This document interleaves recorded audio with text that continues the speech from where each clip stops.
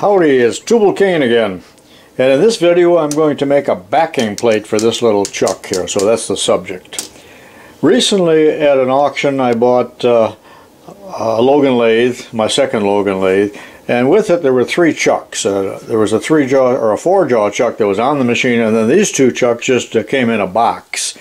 And uh, I was pretty excited about them, especially about this one. This is a four inch buck chuck, adjust a true.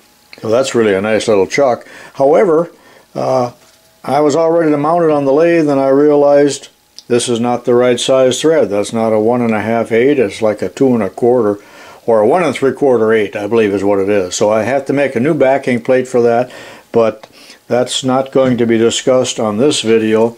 This little three and a half inch uh, English made uh, three jaw is the subject of this video and uh, it had just a little light rust on it which I took off. Extra set of jaws. No key but I found a key here at, in my shop that fits. And it had no backing plate at all. And I'll take the rest of this rust off once I get a backing plate on it. So in other words there's no way to fasten this on to uh, the machine. And I want to fit this so that it'll uh, fit my Atlas South Bend, and Logan lathes. I did a little surfing on the internet and I came up with uh, uh, this little machine shop. Uh, this is the first thing I bought from them and I, I think they're a pretty good outfit. And it came real quickly, uh, priority mail. This was 20 bucks and it's got the right size thread, inch and a half. That fits right onto the Atlas lathe as it is now but this is four inch. They, they did not offer a three and a half. This is a three and a half. So there'll be some machining to do to make it uh, uh, the right diameter. I think I'll thin it down a little bit too. It, it seems like it, that's just a little chunky and, and thick. It makes this chuck too long when you combine the back plate. And then there'll be this step on here that needs to be machined and I'm going to do all of that while it is mounted on the threaded spindle of the Atlas lathe. The cast iron backing plate is mounted on the uh, Atlas Craftsman 12 inch lathe and the first thing I will machine is uh, the outside diameter. It's 4 inches now.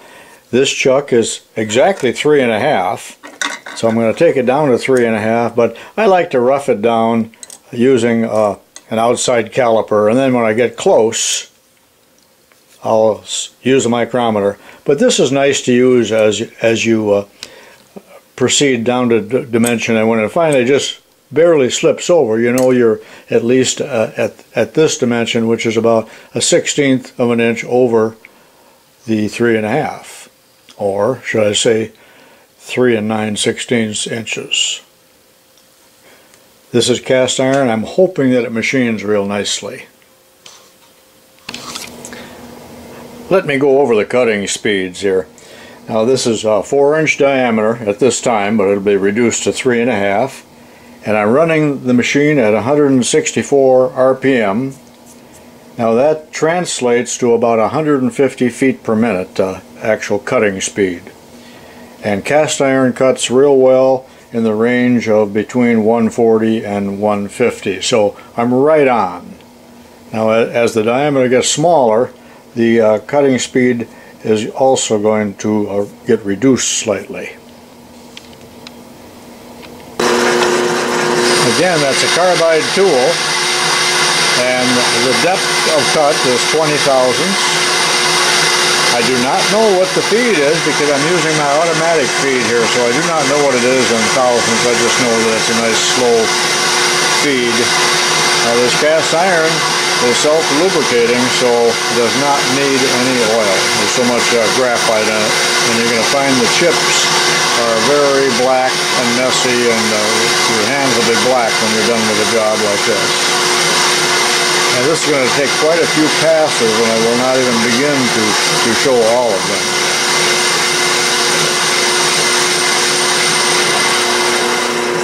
A lot of material to be removed here uh, on a relatively small lathe. Another 20 thousandths.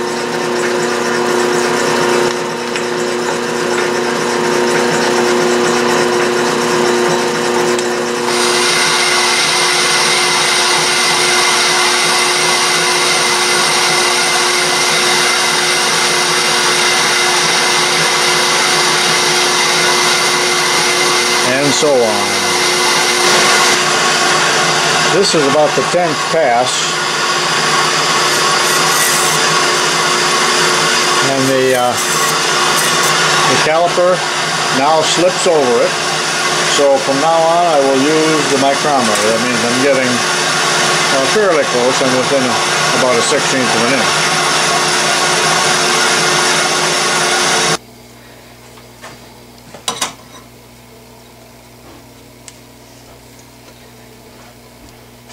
There's 10 thousandths to go. So we'll take that in one pass.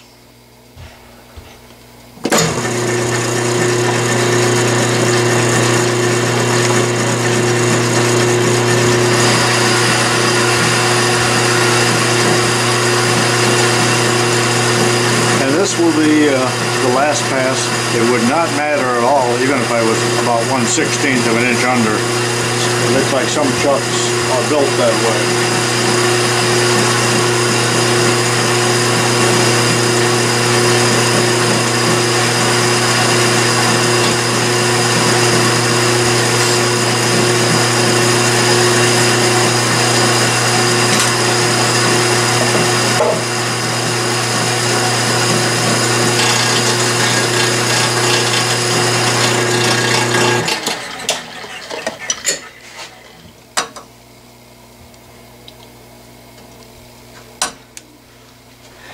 And I'm right on.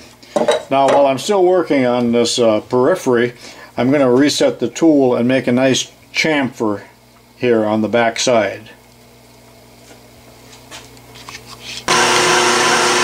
I'm cutting a nice healthy chamfer on the back side here where my ruler is touching using the back side of this uh, triangular tool.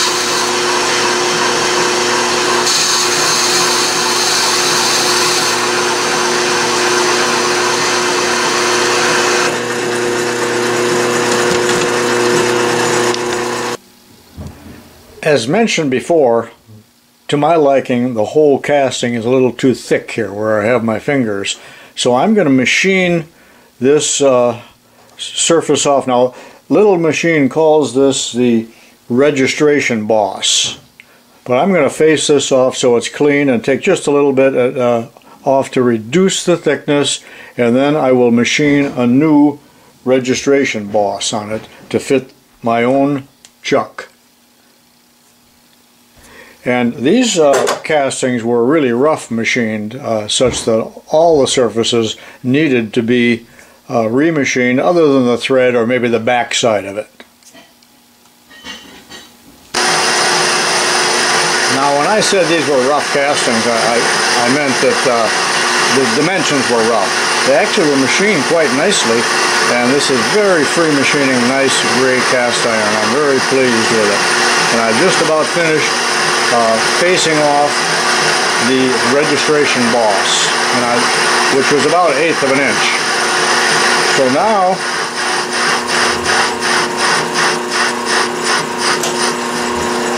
I'm still going to reduce the thickness here about another 16th and then I can start machining the new registration boss. I was rather impressed that uh, Little Machine Shop Company uh, .com uh, gave a little direction sheet with this explaining how to do this. If you don't understand it and uh, you can see here they call it the registration boss which in my case for this little chuck is going to be uh, 2.625 and eighth inch deep approximately. That isn't too critical. I've taken the first few passes on the new registration boss and I'm still using my uh, carbide tool which has quite a large uh, radius on it. And as I get closer to dimension and I'm plenty oversized yet on this diameter but as I get closer to the dimension I'm going to switch to a regular high-speed steel tool uh, facing type tool with a very sharp point so I can get a sharp corner in here on this shoulder. And I'll take the uh, piece down to its final dimensions uh, both depth wise and diameter wise with that tool. The step is well formed. I probably went in a little farther than I needed to and then at some point I'll face this off to the, to the correct uh, uh, dimension. But it's very easy to use this caliper now to check the diameter. And I've changed the tool. I've got a high-speed steel facing tool with a sharp point in there that'll give me a good square shoulder in there. And I have about uh, 20 thousandths to go.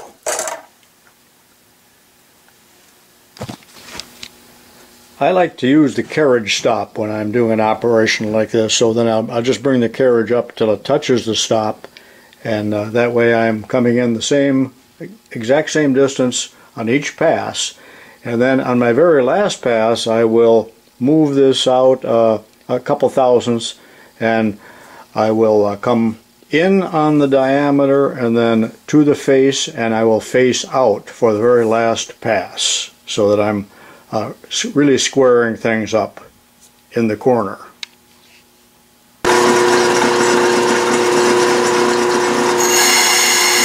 This is what it looks like from this uh, view and I'm feeding by hand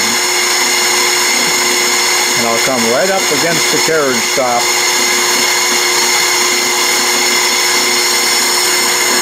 which is right there and so now I know that I've gone in the correct distance this way back it out, measure, and take the next cut. I like to approach that final dimension very slowly and measuring often so I don't spoil the piece. I am now at the right diameter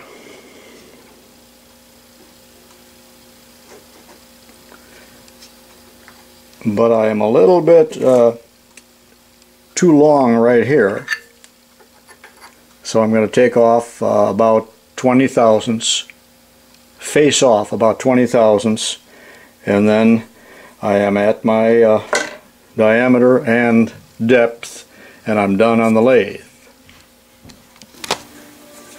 I have faced off this surface. It's a little less than an eighth of an inch. Remember, I don't want this uh, X marked uh, surface to touch the bottom here. It isn't necessary.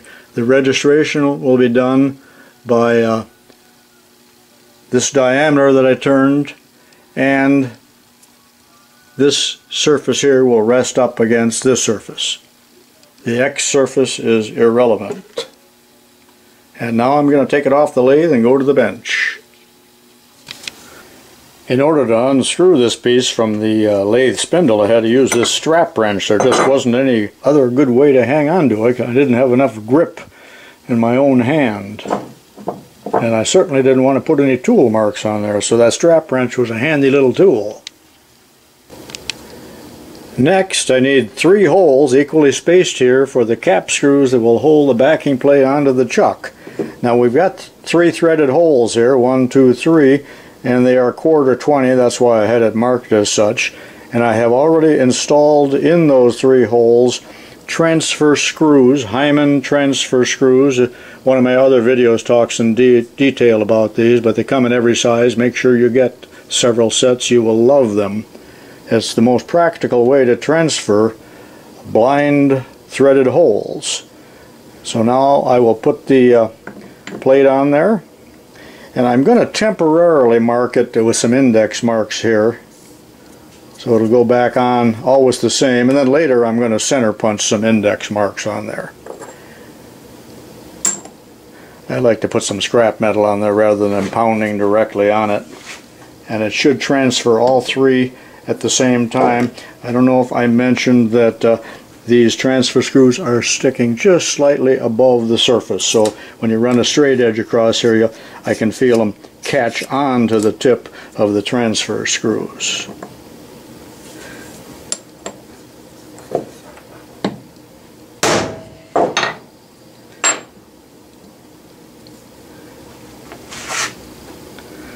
Ta-da! One, two, three, perfectly marked holes. Now I will center punch those a little deeper than what they are and then I will proceed to drill them and uh, I probably am also going to counterbore them from this side. I like to pilot drill uh, these precision holes on my little Cameron micro drill and uh, that's with 16th uh, inch and I've already done that. Now I'll take them over to a larger drill press and drill them eighth inch all the way through with a nice sharp new bit. I'm at the drill press now and I'm going to drill them out uh, eighth inch with a nice sharp bit.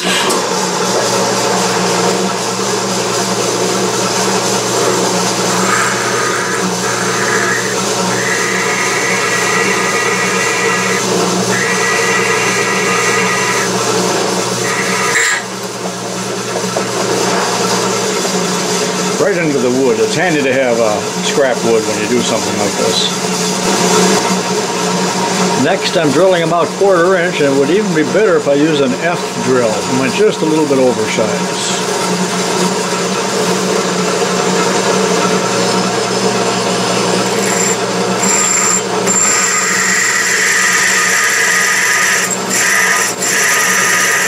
And don't let it get away from you when the bit comes through.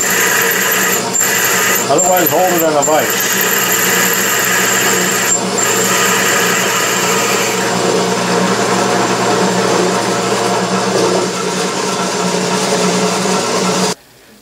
I had full intentions of counterboring these holes as such so that uh, the socket head cap screws would be a countersunk like this. But what I discovered is that because of the diameter here of the head and the diameter of the, the counterbore here, it's more than likely going to break out the side, which to me is uh, verboten. So uh, I'm just going to have to settle for having the cap screws uh, exposed like this, even though I don't like it. But uh, I've seen many of them made that way, but that's the way it's going to be. Now be sure and take uh, a countersink and just deburr your holes real well from both sides because on this side you don't want any burrs that will keep this uh, surface from seating uh, on the chuck or run a file across it. Either one will do but I like the looks of a, a little uh, internal chamfer with uh, countersink now I'm going to mount this on the chuck alright now let's proof this thing. I've got a piece of ground stock held in the little chuck and uh, indicator up against it, zeroed out. I need to turn off the light to get rid of the glare and just rotate this a little bit by hand and you'll see that I'm within about a thousandth which exceeds my expectation. I do not think this is a high-end chuck but the machining came out all right and that's how you put a backing plate on a chuck. That's it. I took a little of that fine abrasive paper and cleaned up the outside. We got quite a stain there, but it could could matter less really. And that's the end of that, and I'm uh, satisfied with that. I did put that uh, witness mark on here someplace that I told you that I was going to do. Right there. If I ever take it apart, I want to put it back together exactly the same way. Now watch one of my upcoming videos where I make a backing plate for this buck chuck because this one doesn't fit. But remember this is an adjust-a-true type chuck which is really a four jaw chuck and a three jaw chuck combined so they can be zeroed out and you might find that of interest and be sure and watch my hundreds of other shop videos. This is Tubal Cain saying so long for now.